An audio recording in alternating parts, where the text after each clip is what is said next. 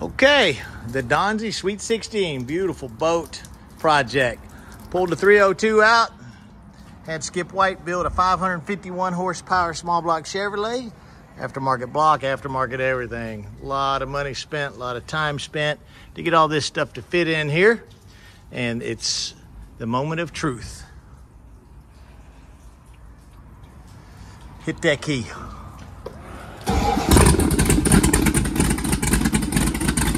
What? Look at that. That is very cool. I love it. I'll never get tired of this stuff like this. Let's see how our belt is tracking.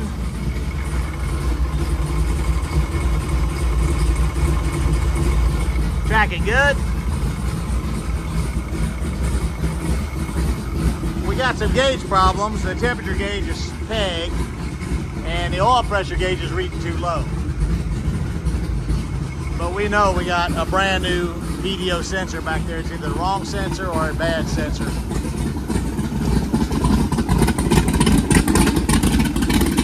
Put in gear. There it is. Neutral.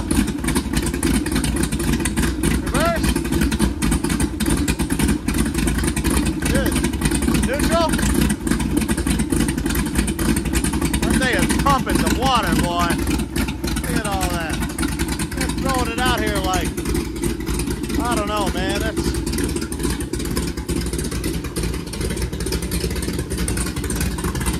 That's like 15 feet.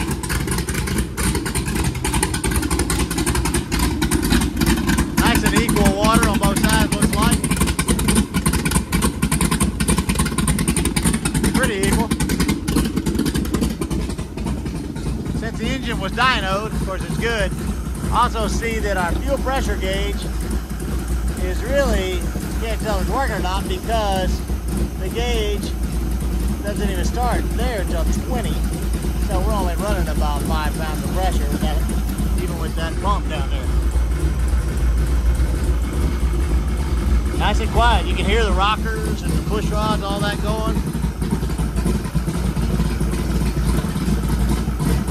You got a tachometer? What are we idling at?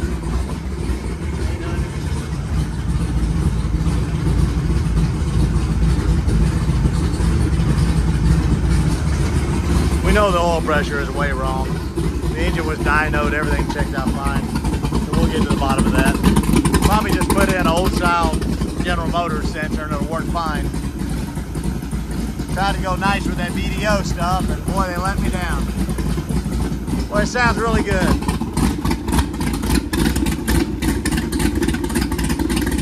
Hey, get in! Give it a little gas, not too much.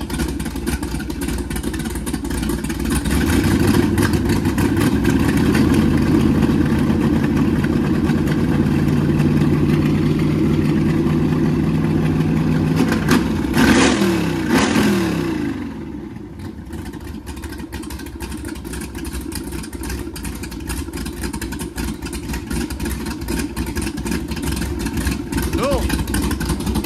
We got some more stuff to do, and then we got some testing out there in the tank. Thumbs up. Smooth, quiet. Exhaust is nice and cool. Get past here, I just got a shower.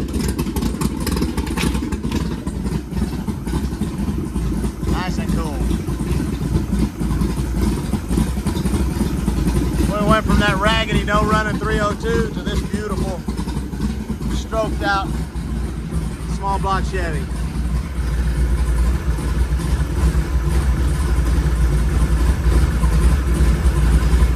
How's your charge gauge look?